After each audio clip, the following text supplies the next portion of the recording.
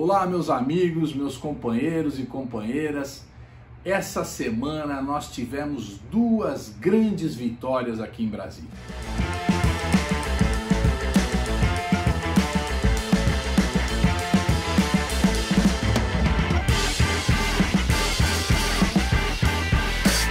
A primeira foi derrotar aquela PEC do voto impresso.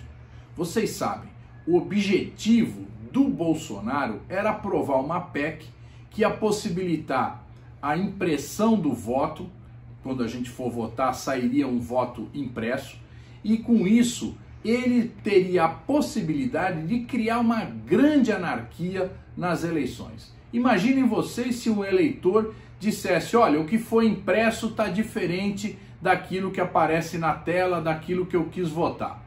O mesário não poderia ler esse voto. E aí, como é que seria resolvida essa situação? Seria uma confusão na sessão eleitoral. E eu não tenho dúvida, seria o ponto principal que os bolsonaristas atuariam nas urnas onde o Lula tem vantagem para tentar impedir que ali se desenvolvesse normalmente a eleição. Essa PEC tinha esse objetivo, o objetivo de anarquizar o processo eleitoral. Nós derrotamos e derrotamos bem. Foi uma vitória muito grande. Inclusive no dia da votação, o Bolsonaro chegou a fazer uma coisa patética, um desfile de blindados da Marinha na frente do Palácio do Planalto para tentar intimidar o Congresso. A segunda grande vitória foi a votação que levou à derrota do Distritão.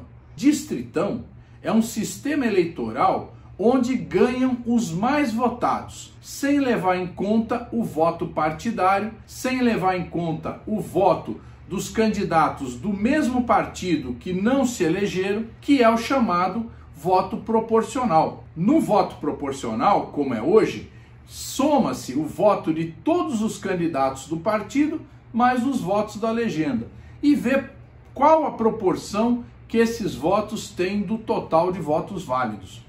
É um processo democrático porque permite às minorias estarem representadas no parlamento, no Congresso Nacional, nas assembleias legislativas e também lá nas câmaras municipais.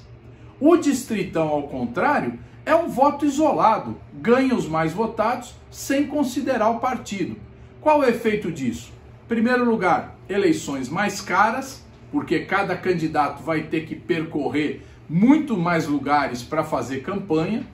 Segundo lugar, o fim da renovação, porque a tendência dos partidos vai ser reduzir o número de candidatos e, evidentemente, os que já são deputados serão preferenciais e os que não são não vão entrar nem na disputa. E a terceira coisa vai ser exatamente a possibilidade de que acabe a fidelidade partidária porque cada deputado eleito nesse sistema vai dizer: não, eu ganhei com os meus próprios votos, não ganhei por causa do partido. Então, esse tipo de voto não pode ser adotado no Brasil. Nós já derrotamos três vezes essa proposta. Já tinha sido derrotada duas vezes e essa semana foi a terceira. Espero que essa proposta seja definitivamente enterrada. Alguns falam, bom, mas foi aprovada a volta da coligação. Realmente, a volta da coligação é uma coisa que não é boa. Essa aprovação foi necessária para que a gente fizesse um acordo aqui para derrotar o Distritão, porque o Distritão é um projeto muito pior do que o das coligações. Agora, essa PEC que foi aprovada aqui ainda vai ser analisada no Senado Federal. E no Senado ela poderá ser aperfeiçoada os senadores podem até avaliar e retirar essa volta das coligações.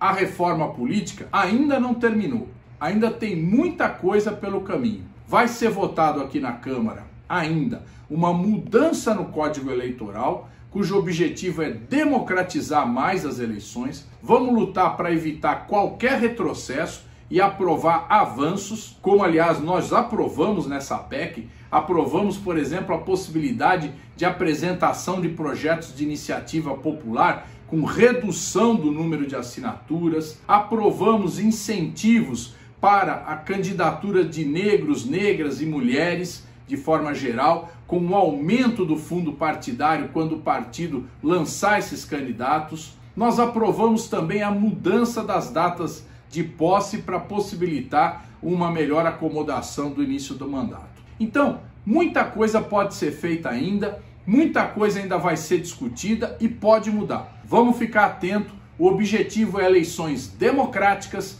eleições justas, com menos influência do poder econômico e com mais força do eleitor.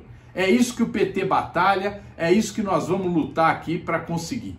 Preste atenção, acompanhe e pressione a todas as bancadas para que a gente não tenha retrocesso.